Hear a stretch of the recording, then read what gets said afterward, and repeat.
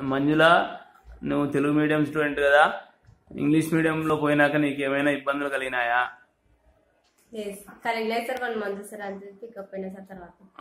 ఇప్పుడు నువ్వు ఇంటర్మీడియట్ మీ క్లాస్లో ఫస్ట్ వచ్చినావు కదా నీ అభిప్రాయం చెప్పు. సార్? నీ అభిప్రాయం చెప్పమ్మా.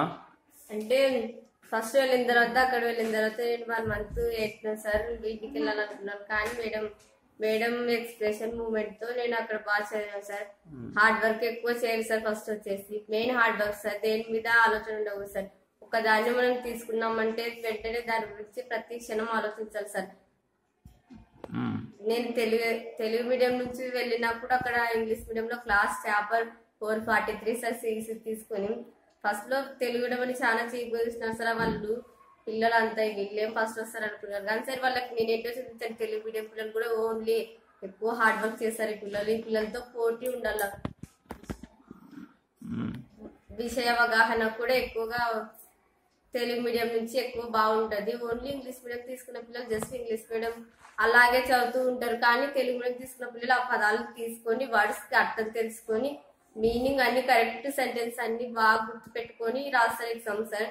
బాగా హార్డ్ వర్క్ చేస్తారు సార్ వాళ్ళు. ఎందుకంటే తెలుగులో నుంచి వెళ్ళిన పిల్లలే హార్డ్ వర్క్ చాలా ఫుల్ హార్డ్ వర్క్ చేస్తారు సార్. ఓ నేను బాగా చదవాలి వీళ్ళలాగా చదవాలి. నేను కూడా ఒక మంచి మార్క్స్ తెచ్చుకోవాలి.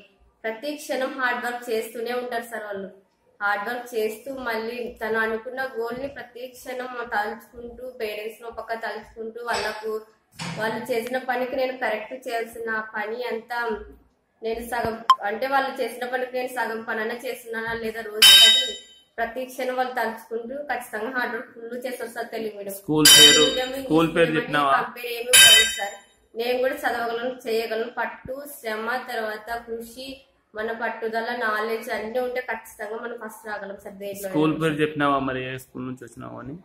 సార్? స్కూల్ పేరు చెప్పినావా అక్కడ? ఏ స్కూల్ నుంచి ఏ గురుకుల స్కూల్ పాఠశాల. ఆ, ఎంజేపీ సొసైటీ ఎక్కడ ఇక్కడ వాళ్ళు అడిగినారా. వాళ్ళు అడిగినారా? ఏ స్కూల్ నుంచి వచ్చినావు? ఎక్కడి నుంచి వచ్చినావు అని అడిగినా? అడిగినారు సార్.